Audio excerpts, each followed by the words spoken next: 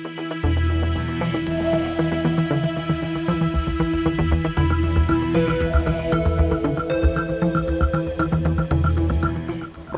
evakuasi Muhammad Fajri dari ruang perawatan RSUD Kota Tangerang menuju truk pemadam kebakaran yang akan mengantarnya menuju RSCM berlangsung dramatis pada Jumat malam.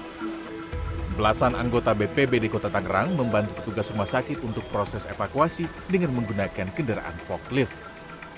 Bobot tubuh Fajri yang mencapai lebih dari 250 kg menjadi kendala tersendiri bagi petugas sehingga membutuhkan waktu satu jam untuk memindahkan Fajri ke atas truk.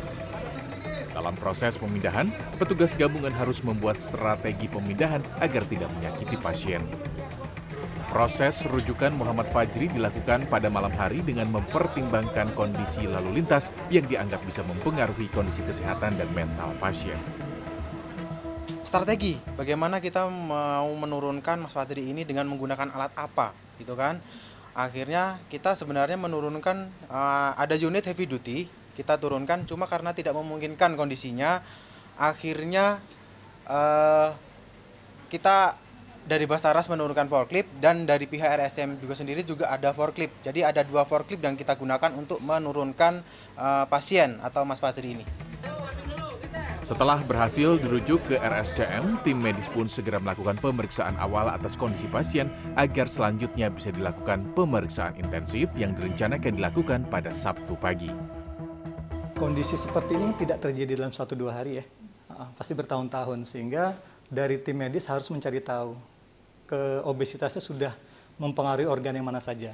Jadi tidak hanya penampilan yang besar seperti itu, tapi organ-organ vital lain terpengaruh atau tidak. Itu dia mesti cari tahu dulu. Kita harus periksa fungsinya, eh, kekuatannya. Dari situ tim medis akan memutuskan apa yang harus dikerjakan berikutnya untuk mencapai target. Ya, targetnya yang pasti mengembalikan fungsi fungsi MF ini ke seperti orang uh, sehat pada umumnya.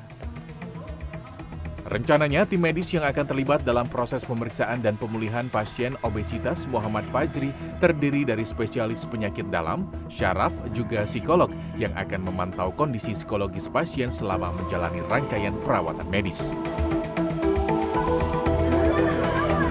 Proses evakuasi Sebelumnya, Fajri, warga Pedurenan Karangtengah Tangerang terpaksa dievakuasi ke rumah sakit karena tak bisa lagi bergerak pada Rabu 7 Juni. Tubuh Fajri harus dikeluarkan dari rumah dengan cara menjebol dinding dan diangkat dengan alat berat forklift ke kendaraan bak terbuka karena bobotnya yang luar biasa dan tak ada warga maupun petugas yang mampu mengangkatnya. Tim Liputan, CNN Indonesia.